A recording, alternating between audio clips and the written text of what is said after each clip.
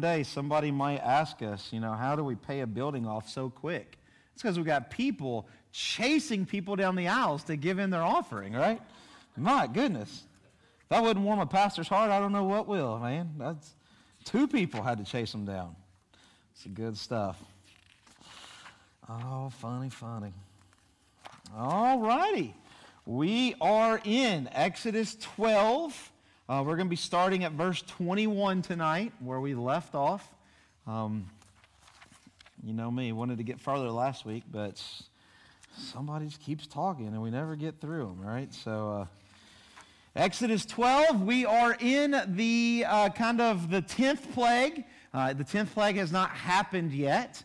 Um, but we've kind of got this beginning uh, story of really what's going to happen. Remember, the 10th plague, even though it's the last plague, it's the plague in which Moses was told first about, all the way back um, in Exodus uh, 3 and 4. Uh, if you remember, um, he says that you are my firstborn, and because of that, I um, I will hurt the firstborn of Pharaoh. And so this is kind of the 10th plague is um, the end, but it's kind of the beginning. And so we kind of have the beginning of the end coming forth. And so last week, looking at this of chapter uh, 11 and getting into the beginning of chapter 12, uh, we've learned that they're going to have this Passover. We learned um, that they were going to have to um, take the lambs. So we talked a little bit about the Passover, a little bit about the lamb.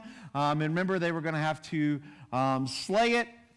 It was going to, uh, if you remember, they were going to have to buy it on the 10th, right? They were or just bring it into their house on the 10th, live with it for four days inside of their house, and then uh, at midnight on the 14th day of the month, uh, they were going to have to slay it, uh, drain the blood out, and then paint it over their doorpost. And at this time, uh, they learned about that they were going to have to make bread um, without leaven, right? They were going to have to make tortillas. And so, uh, and they were going to have to do this. So we've kind of got this precursor of really what everybody knows to be Passover and what everybody knows the 10th plague to be.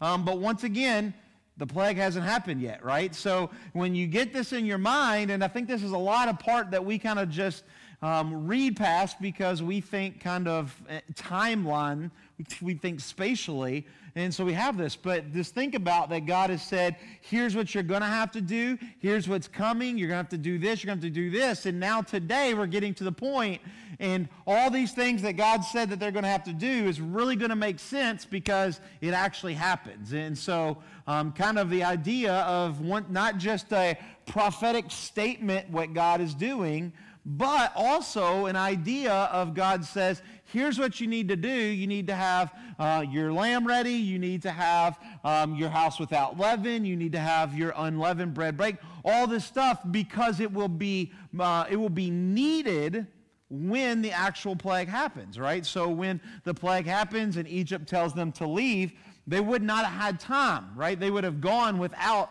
any kind of bread. They wouldn't have had time to get the leavened bread and to bake it. So not only was it a prophetic statement of the future, it was really God getting them ready because the, the final moment of the Exodus was going to be so quick uh, and needed. So we kind of see God says, here, have a little bit of faith, right? Here's what I want you to do. But faith, James 2, what requires works. It requires actions. And so God says, be ready. They got ready, right? And so that's kind of where we uh, ended up. And so in verse 21, uh, we'll kind of pick up there. Uh, then Moses called to the elders of Israel and said to them, right? So remember, we looked at last week this idea uh, of the, kind of the beginning that Israel, the congregation of Israel, uh, as, as it we just saw last week as it's called, but we'll see that word all the way through, um, all the way through the Old Testament from this point forward.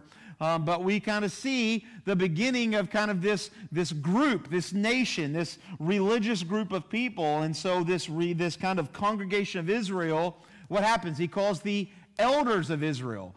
Uh, elders is not just old people, okay? Uh, it, it's what we think of today. It means um, maturity, it means leadership, right? So um, even in their slavery forms, they would have had some system of how they would communicate, how they would advise.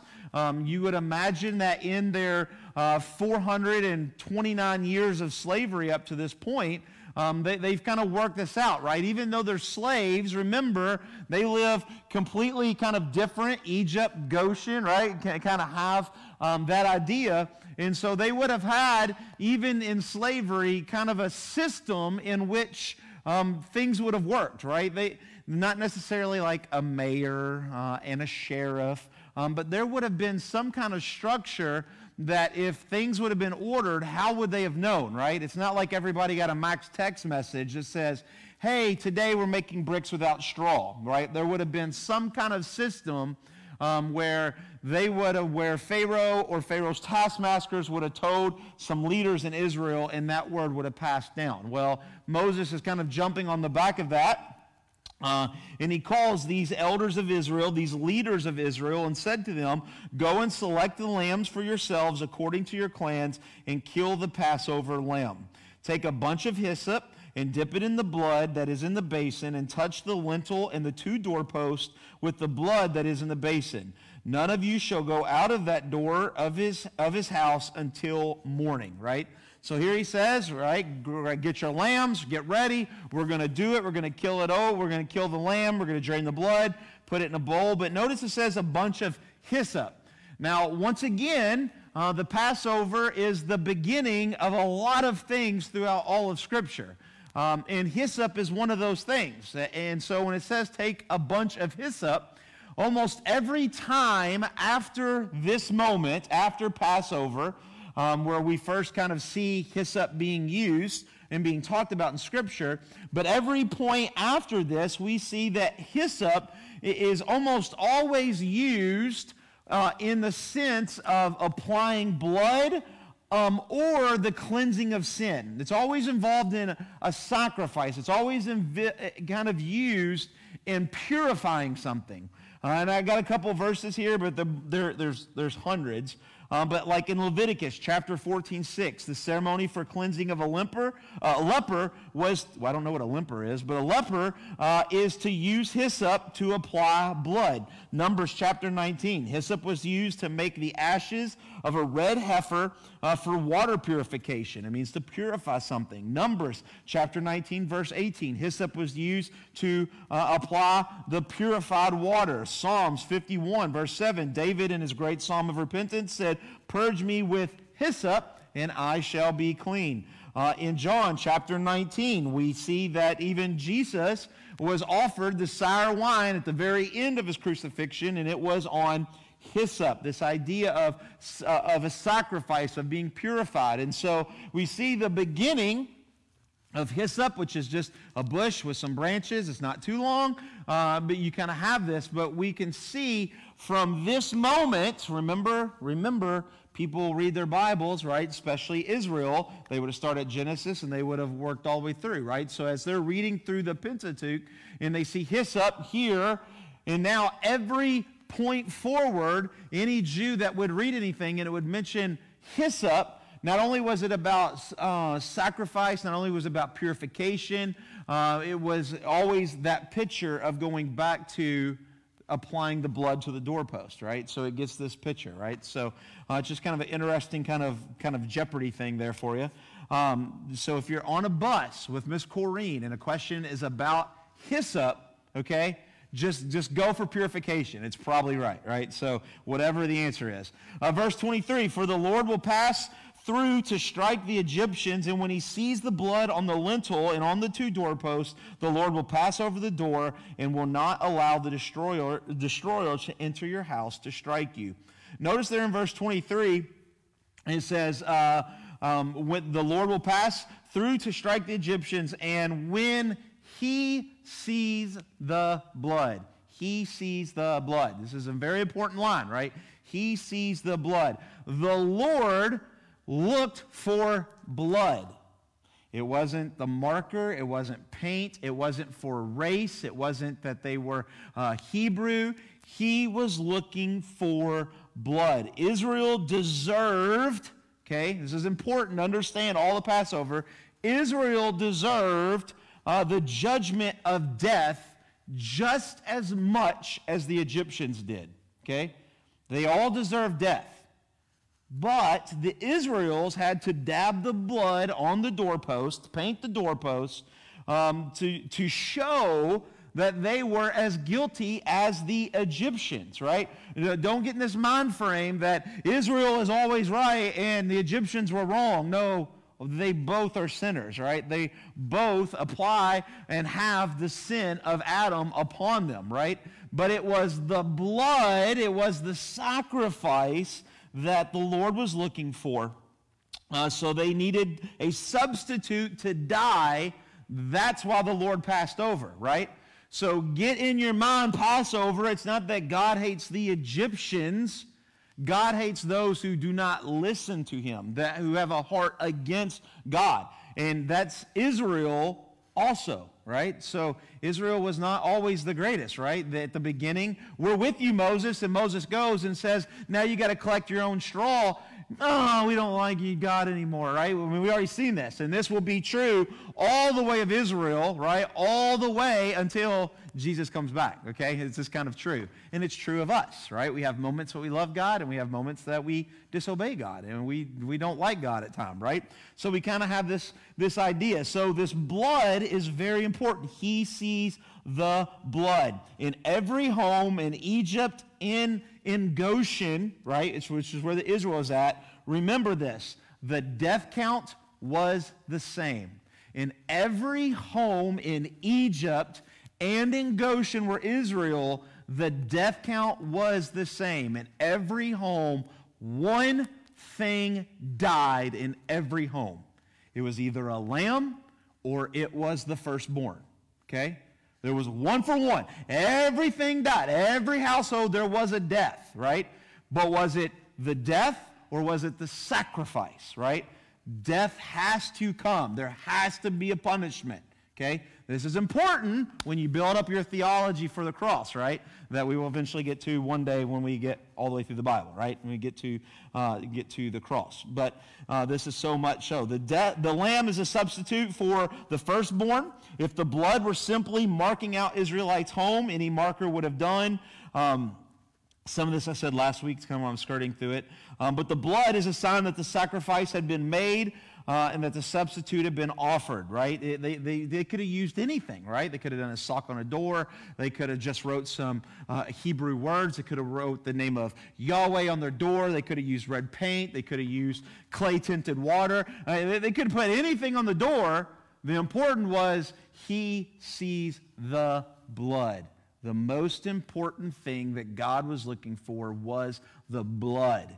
And that's so important as you get your mind around what the Passover is, and as the Passover moves forward, and then eventually we see uh, Jesus fulfilling the Passover, right? Uh, the lamb, uh, so, so why the lamb, right? The, the lamb, it was a sacrifice, but notice the lamb is not a fair exchange for the human life. No matter who you are, no matter if you're Egyptian or Israel, no matter what race, color, whatever, a lamb, an animal, is not equal to a human life, right?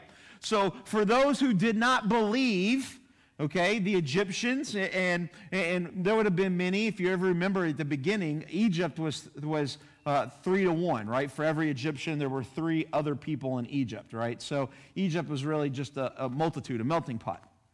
But in this time, uh, during this Passover, this lamb was not a fair exchange, right? So they painted the, the blood of the lamb and it passed their house. It, it skipped a human death because the lamb's death was its sacrifice, but that's not fair, right? That, that's, that's not equal. You don't say, hey, okay, I did bad. I know I'm supposed to die but we could do a lamb. Could you imagine somebody doing something super horrible and they get the death sentence and in jail they say, you know what, I don't really want to die. Um, just hook a lamb up to the electric chair. And everybody's like, that'll work. That's wonderful, right? We're like, no, fry that sucker, right? You're like, no, wait. You're like, no, we, we want we want restitution, right? We want we want judgment. We want this to be done. He deserved death. He gets to do death. But here, the lamb was not a fair exchange, but the lamb was simply a pointer of an embodied promise of a true substitute.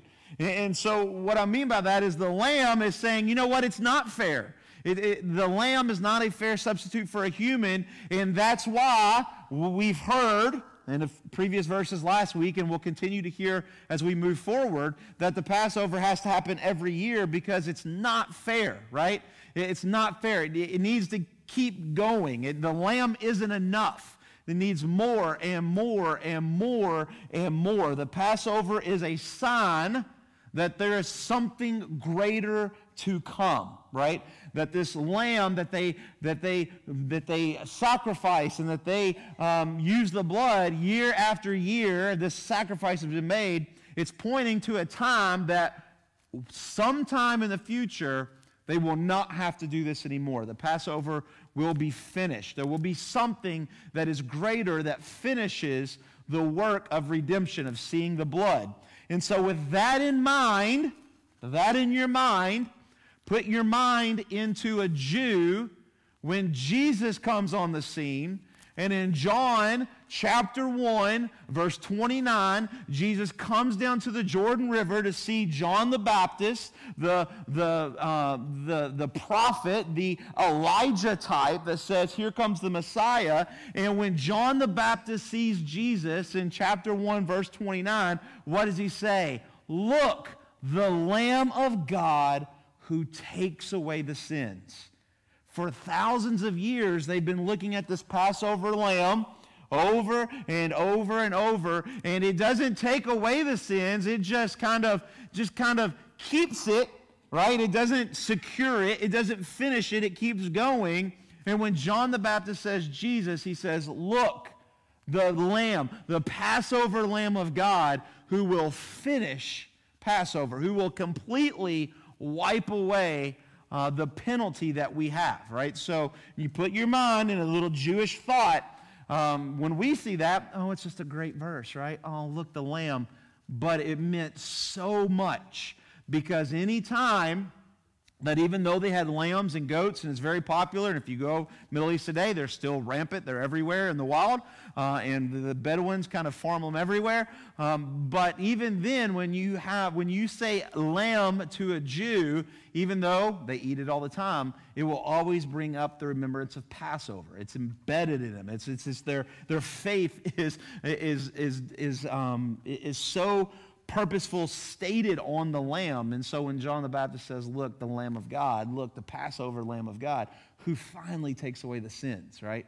That we've been trying to do for thousands of years, right? So, um, more than you paid for, but there you go, right? So uh, uh, the Lord will pass over the door and will not allow the destroyer to enter your house to strike you. Verse 24, you shall observe this rite as a statute for you and your sons forever. The deliverance of Passover was not just for those Israelites in Egypt, right? We, we saw this last week, uh, but it's also for their children. It's also for their generations to follow. As you're reading through Exodus, as we're doing, right? But if you're that, that Jew who's reading through, we've seen this before, right? We've seen that God has talked about the plagues is going to show all of Egypt, right? The plagues are there to show Israel. Then it's going to show all the world, and then it's going to show all the generations. Well, now we can see this same type of talk is used about the Passover. It's not just for Israel now, it's not just for Israel tomorrow, but it's for Israel forever to come. It's for always, for everybody, forever to come, the generations, right? Um, the Passover was the greatest work of redemption performed in the Old Testament that side of the cross, right? So the Passover uh, is, is as close to the cross as Israel would get, right?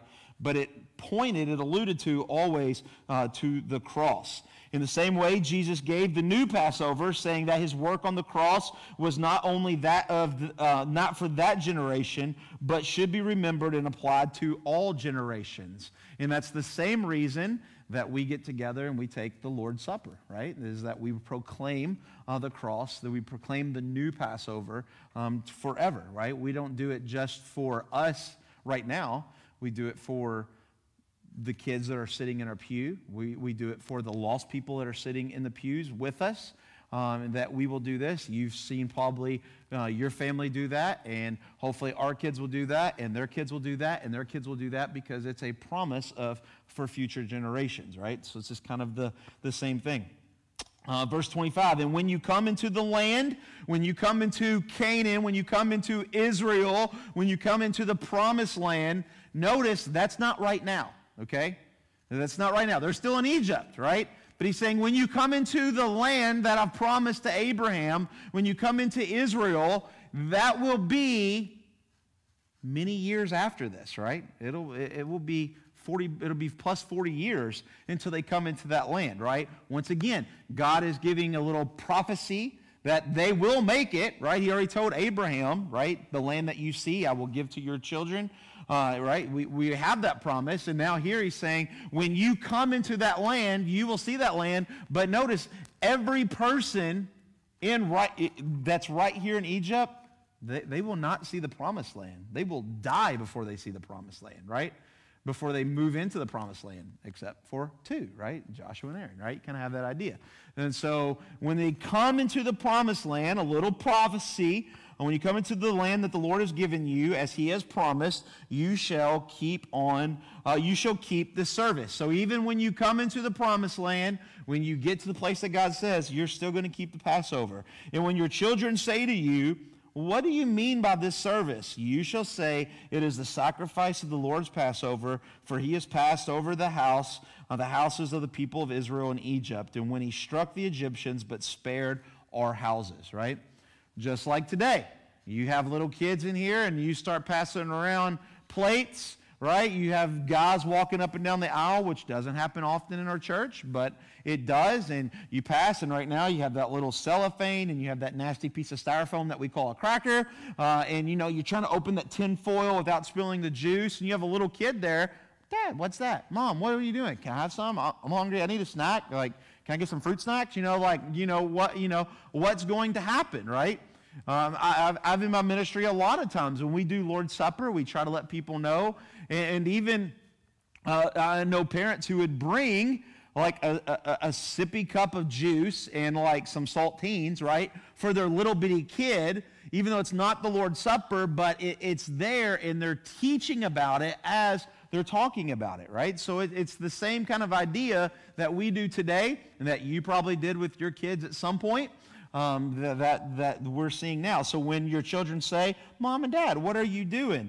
It is a sacrifice of the Lord's Passover. For he passed over uh, the houses of the people of Israel and he struck the Egyptians, but he spared our houses. Right? So it really tells, the Passover tells us two things. One, right, that, uh, that the enemy was defeated, right? Uh, Egypt was defeated. God struck the Egyptians. The bad people were taken care of. But secondly, it tells us that God's people were set free and given a new identity, a new birth, right? They, they get a whole new uh, nation. They get new promises, a new walk, a new life, right? He delivered them, right? So when they talk about Passover, it's God is good and he, he, he, he, uh, he struck down those who oppressed those, those who were against him, and he, give us, he gave us a new life. Mom, Dad, what's, why are they passing the gold plates? Well, it's a remembrance uh, of Jesus on the cross. What's that about? Well, you know what? That, that one day God is going to have everybody, and anybody who doesn't love God and doesn't have a faith in God, He's going to send them to hell. He's going to strike them down. But for anybody who believes, He's given us a new life. He sent the Holy Spirit inside of us, and Jesus lives in our heart, and He allows us to, to, to move and to operate with Him in there. So now Jesus is in my heart, and He guides my walk, and He guides what I do, and He guides my thoughts, and He guides my parenting. It's the same thing, right? It's the same conversation that we have now that they had thousands of years ago, right? It's the exact same thing. It's such a great picture. Um, um, uh, and, and, uh, and the people bowed their heads and worshiped. Notice this. This is important, right? This is kind of one of the things that we just read over. When, it, when you're reading this, you shall say, The sacrifice of the Lord is Passover, for he passed over the houses of people of Israel and Egypt, and he struck the Egyptians and spared their houses, and the people bowed their heads and worshiped. The immediate reaction of Israel to this announcement was to worship, right? The immediate reactions when he says, This is what you need to do. You need to get the lamb. You need to brush it on the door. You need to eat this. You need to do this. Okay, it's game time. God's coming. Are you ready? Let's go. And immediately they did what he said. This is important because there's not too many times in all of the Bible that you can say, God said do this, and it says Israel immediately reacted. Okay? Because we're going to see not been too many times after this, Israel's like, oh, I don't want to. I don't like this. This isn't my, right? They complained, right? This is what they were known to do. And so there's not too many times, but here we can see that they bowed their heads and they worshiped. Verse 28 Then the people of Israel went and did so um, as the Lord had commanded Moses and Aaron, so they did, right? So not only did they bow their heads in worship, um, but they went and did so. James chapter 2, verse 17. So also faith by itself, if it does not have works, is dead, okay? Their works proved their faith, right? It's not because they, they cut the lamb, caught the blood, smeared it on the door, ate all of the, all of the meat, any meat that was left over. Uh, they burnt it the next morning. It's not because they got all the leaven out. It's not, they were not saved by the actions. Okay? They were not by saved by doing the work of the Passover. They were saved by the faith of saying, Today you will be delivered. These are the things you need to do to be delivered. And they said, Yes, Lord, right?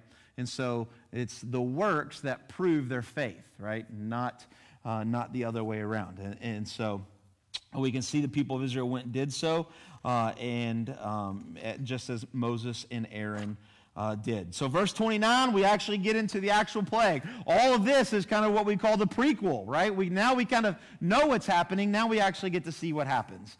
Uh, verse 29 uh, At midnight, the Lord struck down all the firstborn of the land of Egypt, from the firstborn of, excuse me, from the firstborn of Pharaoh, who sat on his throne, to the firstborn of the captive who was in the dungeon, and the firstborn of the livestock. Notice it says, the midnight, the Lord struck down all of the firstborn. Exodus chapter 3. We looked at this months ago, right?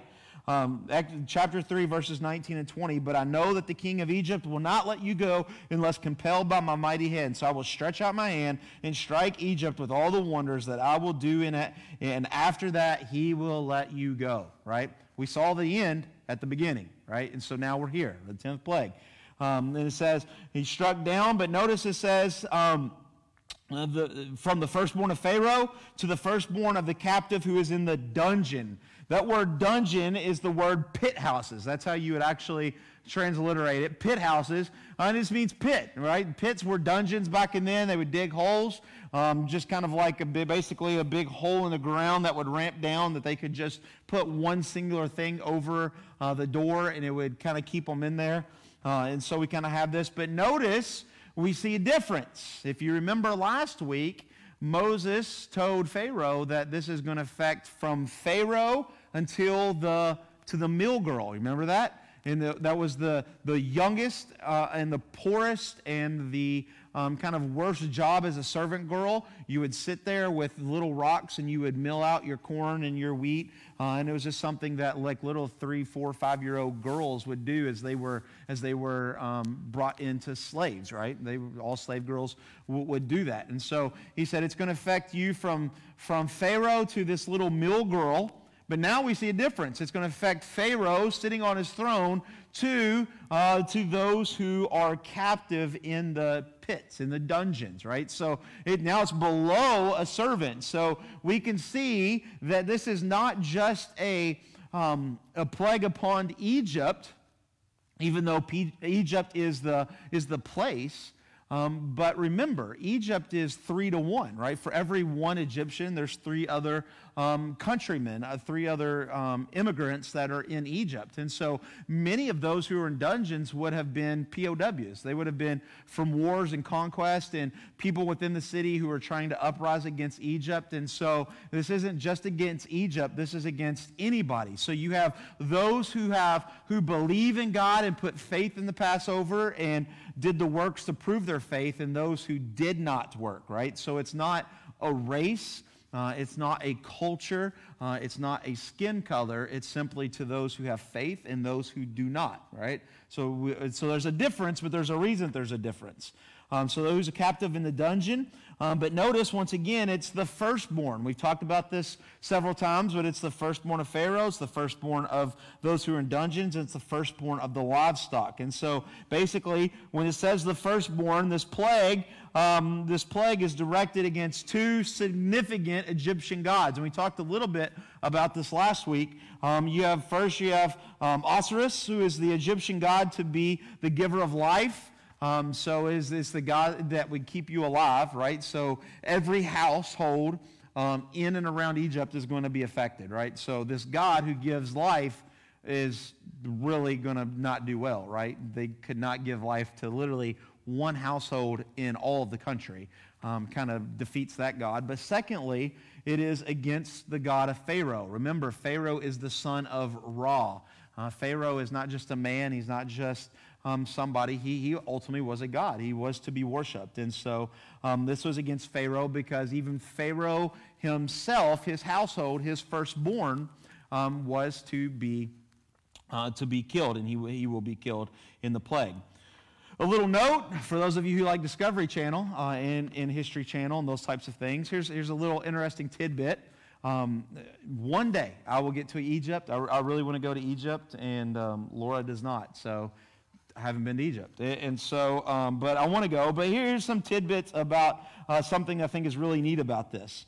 Um, an inscription was found uh, in a shrine connected with the Great Sphinx that records the solemn promise from the Egyptian gods um, vowing that Thutmose IV would succeed his father, uh, Amenhotep II, whom many believe to be the Pharaoh of Exodus. Okay, so you have, you have this inscription. Um, and it's in the museum. It's in Egypt. You can go and see it. Uh, it's in the outside. Uh, it's in the outside museum uh, in the in the valley of uh, in the in the Valley of Kings. If you're interested, um, one day maybe I'll show you a picture if Laura ever goes. Um, but this inscription is there, and it's basically saying it, it, it's, a, it's a swear, it's a promise from all of the gods of Egypt that, uh, that um, Thutmose IV will succeed his father, Amenhotep II. Okay? That's very interesting. That's, that's to you, that's not interesting, I know, right? But to those, and it's not really to me, I'm not an Egyptian scholar, but it's interesting that why would Egyptians' gods have to swear that the son of a Pharaoh would become the next Pharaoh? Right? Pharaoh was in dynasties. If, if Pharaoh had a son, he was surely to be, the firstborn was surely to be um, the next Pharaoh. Uh, if the firstborn was to die, the second-born son would be the Pharaoh. So uh, there, we, we see no other ever in any um, Egyptian archaeology do we ever see this, but here we have this with this certain Pharaoh, Amenhotep II, right, which is, which is the Pharaoh of the Exodus. And it's really weird. Well, Sean, why is that weird? I'd love to tell you. Um, this unique promise from the gods that something so natural would happen, right? It's just normal that this would happen. That the eldest son would take place as Pharaoh's, um, uh, uh, um, take place as Pharaoh is probably, perhaps, because Thutmose IV was not the father's firstborn son. Amenhotep II had another son we don't see this son anywhere in Egyptian history, right? Why is that? Probably because he died, right? He died because he, they did not celebrate Passover. They did not believe in God. And so after his firstborn son died, uh, he probably had another son, um, or maybe there was a son already born. We, we, we don't know. Um, when you get into the Exodus time, Egyptian history is very vague because, you know, it would be bad to say, um, the Egyptians lost, you know, 2 million plus people. Um, but during this time, it's just very weird, and the only time that we see in Egyptian archaeology that the gods swear that they would promise that a son would follow after his father.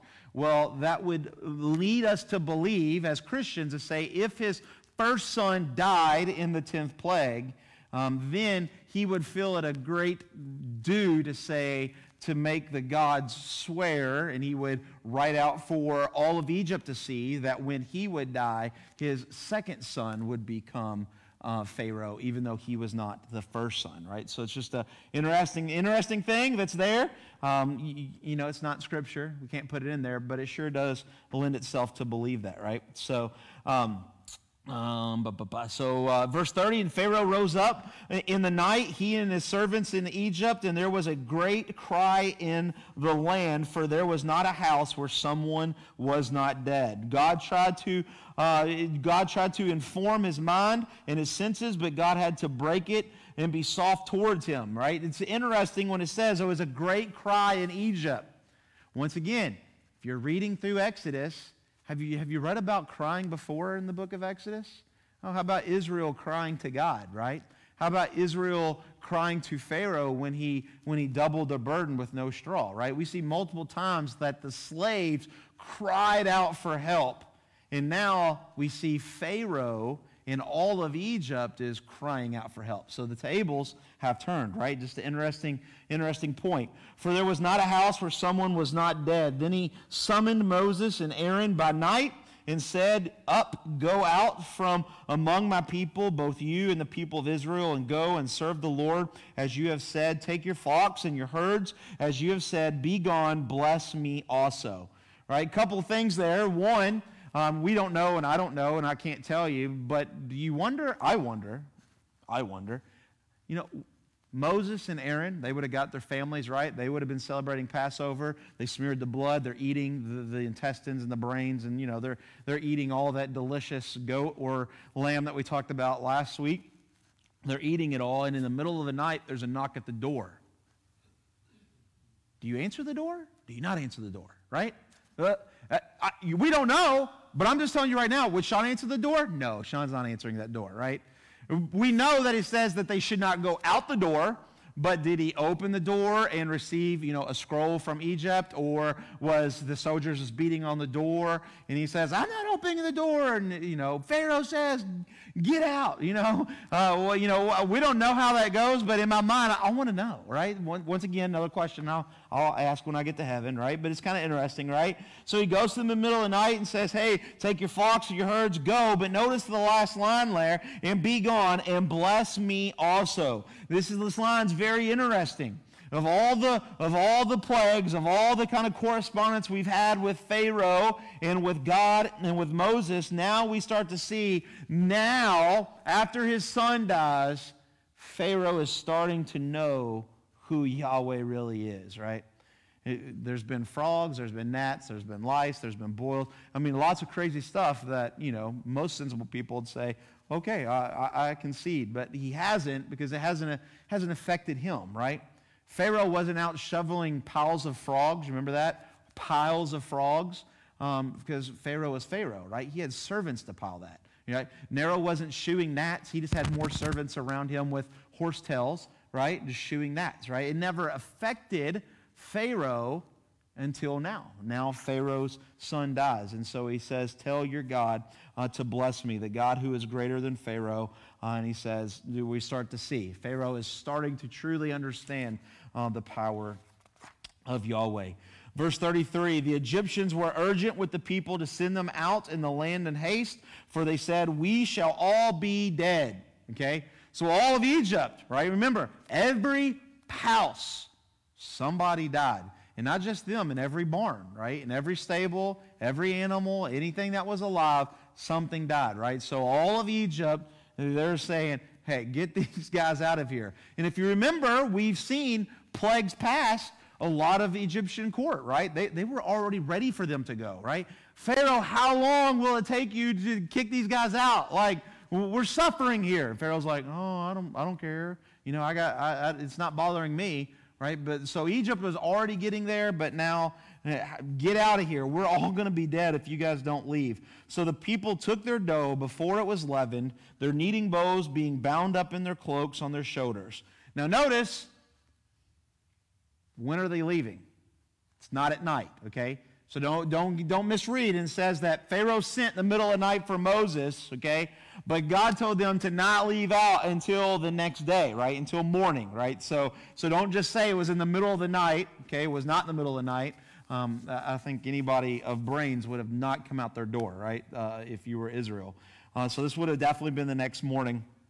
Um, but notice it says, so the people took their dough before it was leavened. This is important. This is why they had to eat unleavened bread, right? The Lord said, eat unleavened bread. Well, we don't like tortillas, right? We want biscuits, right?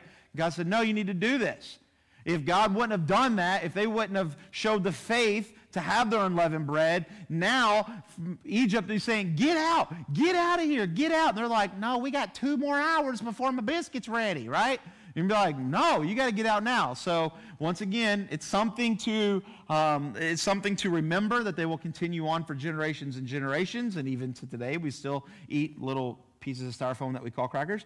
Uh, and, uh, and I don't care what y'all say, it's styrofoam. we will find out one day. Uh, and so you kind of have this, right? You have this unleavened bread, but it was, it was for a purpose, right? The Exodus was going to be so fast and so moving the yeast couldn't rise, right? So God was taking care of them even before. So the dough, before it was um, leavened, their kneading bowls bound up in their cloaks and on their shoulders, the people of Israel had also done as Moses told them, for they had asked uh, the Egyptians for silver, gold, jewelry, uh, and for their clothing. And the Lord had given the people favor in the sights of the Egyptians so that they let them have whatever they asked for, okay? So here, for 429 years, right, they've been slaves. And now on the last day, Egypt says, take whatever you want and get out of here, right? And so uh, and you just have to, you know, once again, we'll ask, we'll ask Jesus when we get there, right? But when they found favor, I'd love to know what that means, right? Egypt, I just like see them like just throwing things, like, please just leave. Like, you know, there's just like people walking down the street and they're like, you know, take my cat, you know, and, you know, there's like, take this and take that, and here's my necklace, you know, just like, this is my great grandma's candelabra, take it too, right? It's just amazing, right? So you kind of have this story of all that God is doing, um, and so let them have what they ask. Thus they plundered the Egyptians. What a great word, right? They plundered the Egyptians. And the people of Israel journeyed from Ramses to Succoth, about 600,000 men on foot, besides women and children. So if you convert that, okay, most, and, and we could agree to disagree, but we're going to say Sean Watson's going to say from this point forward is 2 million people, okay? 600,000 men, you do a little calculating of, of wives and kids, we're going to say roughly around 2 million people. There are people way smarter than me that have smaller numbers. There's people way smarter than me that have bigger numbers. But for the sense of purposes of Sean's Exodus study, it's 2 million people, okay? And, uh, and guess what? That grows, right? When, when you have 600,000 men, which probably means that you got, you know, roughly around um, probably a million women and girls, um, they're all fertile, right? They, they continue to, even though they're walking through a desert, you know, guys will be guys, right? And so they will continue to have babies as they, as they walk around, right? So just note that. Um, so there's about 600,000 men, 2 million people. But notice this, verse 38 a mixed multitude also went up with them, and very much livestock, both flocks and herds. Now, a mixed multitude, interesting word. Um, we've seen this word before. It's the Hebrew word saw-rats. Anybody remember what that means? I'm just seeing how good you are. Saw-rats. Anybody? Don't look back at your notes. Anybody remember what that word is? It means to swarm. It's a creation word, right? We saw this with the, with the gnats. We saw this with the frogs. Uh, saw rats. It means to swarm. And so this great multitude, swarm, a group of people. We don't know how many. Um, some people will include this swarm, this great multitude, the mixed multitude, whatever you want to call it. Some people will include it in that count of 600,000, um, and some do not. If you want Sean Watson's version, I think the Hebrew lends to say it was 600,000 Israel men and then you have the women and children, and then plus a mixed multitude. Remember, Egypt was three to one, right? So uh, there would have been Egyptians, there would have been Philistines, there would have been all types of people that at this point saw the power of God in the 10th plague, the ninth plague, the eighth plague, the seventh, right? They're all living there, and they say, I'm with you guys, right? The, the, Egypt's going down. We're on to bigger and, and better things. Now, did all of the people of the mixed multitude, did they believe in God?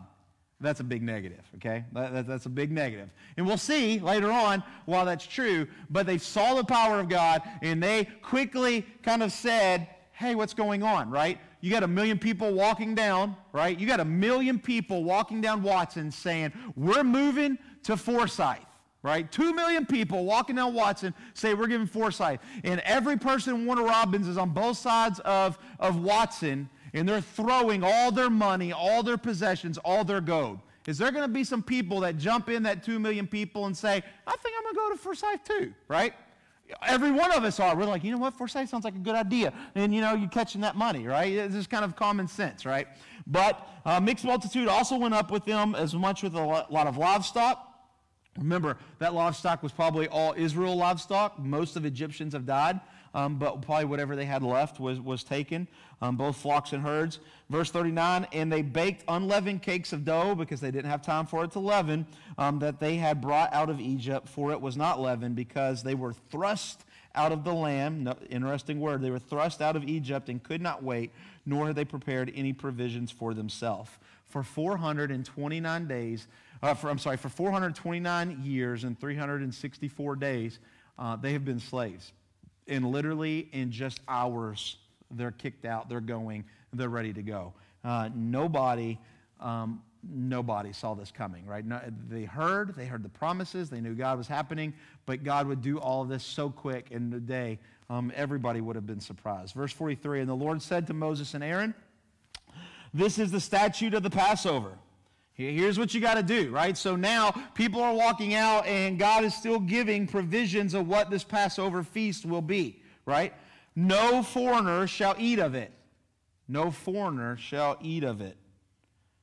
But every slave that is brought for money may eat of it after you have circumcised uh, him. So no foreigner shall eat of it. So what, shall, what should we do with this mixed multitude, right? The, the, all these Canaanites and Amorites and Perizzites and, uh, and Amor, you know, all these different people. What are we going to do? Well, when it says that no foreigner shall eat of it, basically it's saying that no non-Israel, non we would say today a, a non-Jewish person would eat, right? So they would have to, what we would call today, they, they would proselyte them. How would you become a Jew, right? Today, if you wanted to marry a Jew, uh, Erlene this gets a hankering for a Jewish guy and she wants to marry. She's going to Israel. She might find her an Israelite man, right? She wants to become a Jew. I sure hope you're a Jew that believes in Jesus. Um, but uh, let's say she wants to do. Well, she'd have to do a couple things, right? You have to believe in the law. They don't have the law yet. So what do they do? At this form of what somebody would have to do is they would, um, they would uh, take the, they would take circumcision, no matter their age, right? Men would become circumcised. Um, and when they become circumcised, they would pledge their allegiance to Yahweh, uh, and then they would be a Jew. So when it says a foreigner, okay, foreigners could take of that, but they would be, have to um, be circumcised, or uh, the man of their house would have to be circumcised, right? So what if you're a woman, right? What if you're a woman and you say, hey, I wanted to say some women of the mixed multitude wanted to be an Israelite. Uh, they, they couldn't be circumcised, so how, how, would, they, how would they go? They, they wouldn't. Uh, they would not have a man of their house to be circumcised, and so they would not be allowed. Now, when we get to the law, you get to Leviticus, you get to Numbers, there's some provisions made for that. But up until those laws are given, uh, it would strictly be by the man over your house being circumcised and pledging allegiance to Yahweh. Um, so um, it's a bum deal, right? Um, after you have circumcised, so if you have a slave, he can eat, but you have to circumcise him. No foreigner or hired worker may eat of it. Um, so somebody just coming in, right? So just kind of coming in, working, somebody coming through. You can't have that, right? Much like today in the Lord's Supper, right? The Lord's Supper is not for everybody. Everybody in the church on a Sunday morning cannot take the Lord's Supper. You, you must be a believer. You must have faith, right? Um, if you are of, and I know some of you are, you're of an independent um, background, an independent Baptist would say that you have to be a member of this church and be a believer in order to take the Lord's Supper, right? So, depending on your background, depending on your theology, both can be argued, but that's for another day, right? So, um, it, it, shall be eaten in one house. Um, And you shall not take any of the flesh outside of the house, and you shall not break any of its bone. Remember, the Passover is about a family ordeal, right? It was for, for the family. Um, and uh, it shall, you shall eat all of it. Uh, if you can't eat all of it, you're going to burn it. Uh, you shall not break any of its bones, right? That's a new provision. We didn't have that in the first. Um, but we see this provision um, given in uh, Psalm 22nd and John 19, kind of tells us more about why Jesus is that Passover. Um, remember, if it's going to be a perfect lamb, you're going to have this thing um, and you're going to sacrifice it, it doesn't need to be messed up, right? And breaking something, of course, would be messing it up. Verse 47 And all the congregation of Israel shall keep it, and all the church, all the ecclesia, it's the New Testament word, right? So all of Israel shall keep all these rules, keep the Passover. If a stranger shall sojourn with you and would keep the Passover to the Lord, let all of his males be circumcised. Then he may come near and keep it. He shall be as a native of the land, but no uncircumcised person shall eat of it. Okay? So um, if, even if somebody comes in and they're just traveling and they're staying with you, if they're willing to be circumcised, um, hey, have at it, right? So kind of have that idea. Uh, there shall be one law for the native and for the stranger who sojourns among you, right? So there's there's nothing. You can't be like, well, we're Jews, so we have this, but you're just traveling, so you kind of a lesser, right? And it's the same standard, right? The same standard across the board, no matter who you are, right? Kind of like salvation, right? The same standard. Jesus is the standard, no matter who you are. Verse 50 All the people of Israel did just as the Lord commanded. Once again, this is amazing. As you can, as we continue to read Exodus, you're going to stop seeing this, right? You're going to stop seeing this a lot. But all the people did as the Lord commanded. Crazy. Um, as, as the Lord commanded Moses and Aaron, and on that day the Lord brought the people out, uh, brought the people of Israel out of the land uh, of Egypt. Um, Egypt, the land of their host, right? So this is when you think about it, uh, you kind of have this 429 years and 364 days is kind of like the um, like like a, a, pregnant lady, right? And now the plagues were kind of like the birth pains, and, and now on this day, on the, the first day of the 430th year, we have we have a new baby, we have a new nation, we have um, Israel. Okay. Yum, yum, yum, yum, yum. I, got, I got one minute. So um, let's do verses 1 and 2 of chapter 13.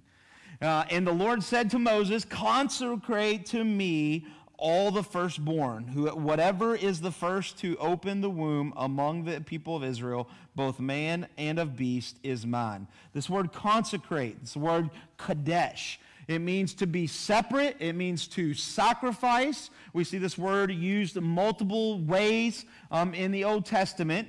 Um, but basically, it just says to, to be set apart. So the Lord said, Consecrate to me, sacrifice to me, set apart to me uh, all of the firstborn. Remember, the plague was the death of the firstborn.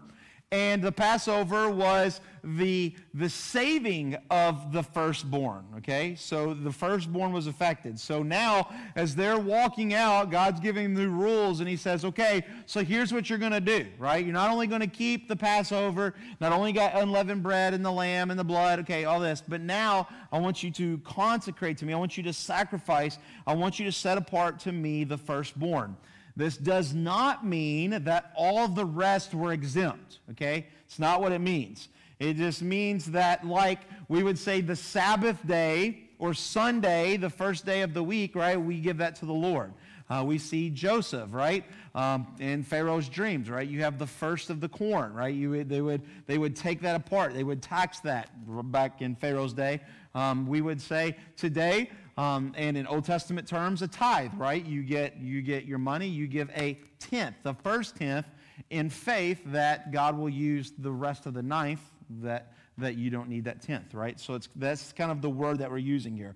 Consecrate, sacrifice. Um, but we will see next week that there is some true sacrificing to be made, right? Not talking about kids, but um, so if you have bad kids, you can't sacrifice them. Um, but that's right. So whatever is first to open in the womb among the people of Israel, both of man of beast, notice this, is mine. Right? God says they are, they are mine. They are his. Israel is God's firstborn. Exodus chapter 4, 22, right? Israel is God's firstborn. So the firstborn was thought to be the best. Uh, and the remainder of the future generations that God redeemed are his firstborn, right? So this idea of them redeeming, of sacrificing the firstborn of every family, of every animal, of every this, basically just shows for generation and generation that they would always be setting apart for Christ, right? So this I, not for God, they didn't know who Christ was, but that's eventually the, the, the point. But you kind of have this idea that if God says, set apart to me the firstborn, right? So the people walking out of Egypt, when they have kids, and they're going to have kids in the desert, ever, almost all of them will, they'll have kids, and they set apart those kids, right? And now when those kids have kids, and then they get to go over into the promised land, what are they going to do? They're going to, they're going to set apart, sacrifice, consecrate their kids for God. And we can see this continual. So it's a purpose of not only saying the first is the best and you shall give your first to God, but it's also a way of key saying of God saying, I'm going to make sure for generation after generation people will know who Yahweh is. And why will they know? Because we're consecrating. Dad, why, why are we doing this big thing? Why are we consecrating? Why are we sacrificing this animal? Because, um, because I was born. Okay, well, here's why. Because back in the day there we were slaves and god bless it always points back to the deliverance. It always points back to the passover.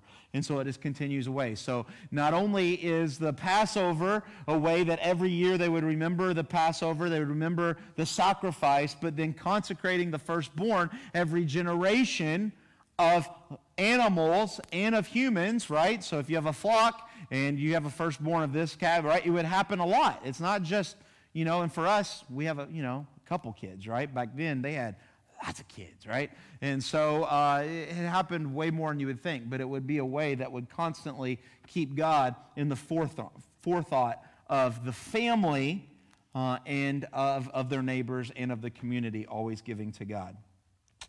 Um, and we're going to stop right there, and then uh, it'll be a good place as we move um, next week. Let's pray. Father, we love you. We thank you so much we think as we look over into the Passover that even though it happened so long ago, even though we think of maybe uh, a, a, movie with Charlton Heston, and we, when we think of Exodus, we think of burning bush, and we think of Mount Sinai, but, but it was really the beginning of showing us your love. That you loved us so much that you have set apart a way for us to not die, for us to be saved through the blood. Father, we thank you that we are not like Israel back then. That we thank you that you sent your son Jesus to be the ultimate Passover lamb. That every year we don't have to sacrifice an animal in just waiting for something better. But Father, on this side of the cross, we know that there's something better. We know that you have sent the Lamb of God who takes away the sins of the world. Father, we pray that we would be like these Israelites are right now, that they would hear the word of God, they would worship, and they would immediately act. Father, help us to be able to hear your word and to worship your word and to act upon your word. Father, we thank you for the true Lamb. We thank you for the sacrifice that you made so that we would not die. Father, we thank you. In your name, amen. All right. God bless.